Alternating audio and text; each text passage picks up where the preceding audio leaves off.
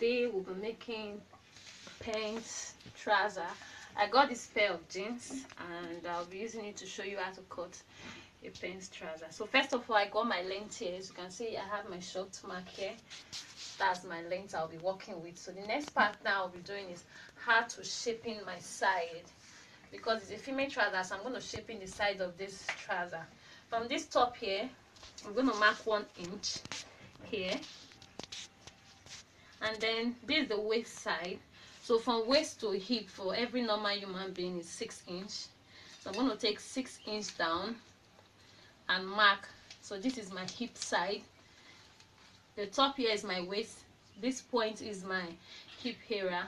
And then for this button i really want it to be pinned. So i'm really i'm still going to take one inch down. So what i'm going to do now i'm going to connect both lines together so just do yours for the back. So now connect both lines together. As you can see now you can see the side this is the side. This for the buttocks area and this for the leg the pants part.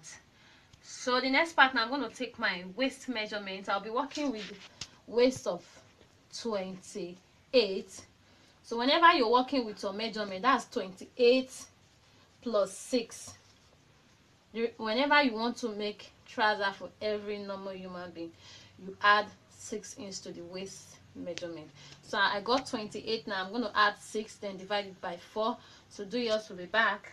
So now for us to get this waist measurement just like what we said we say we're working with the measurement of 28 28 plus 6 gave us 34 so when we divided 34 into four places it gave us eight and a half. So i'm going to mark eight and a half here at this top side.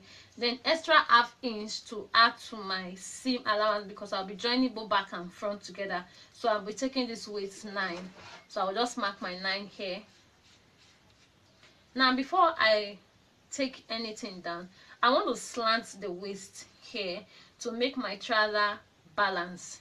Because of the tummy side the reason why I would slant is to avoid sometimes some people got some big tummy so it helps to shaping it. So I'm just going to take one inch down here and just slant it to this top side.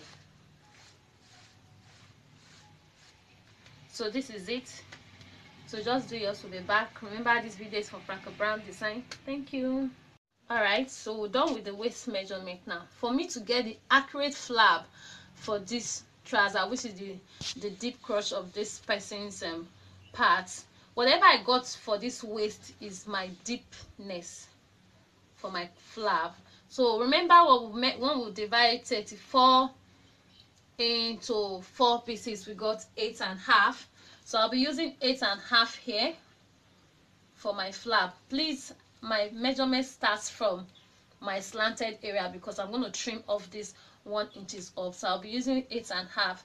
But for this person i'm working for it's not really a fast type. So i'm going to reduce half inch so that there will not be too much excess at the flap. So i'll be working with eight inch. So let's say for example you're working with fat person. If the person's um, waist measurement is 10 then the flap is 10 so whatever you get from your waist that's actually the flap. So i'm just make a straight line here. Now for me to get this curve shape here i'll be working with two inch.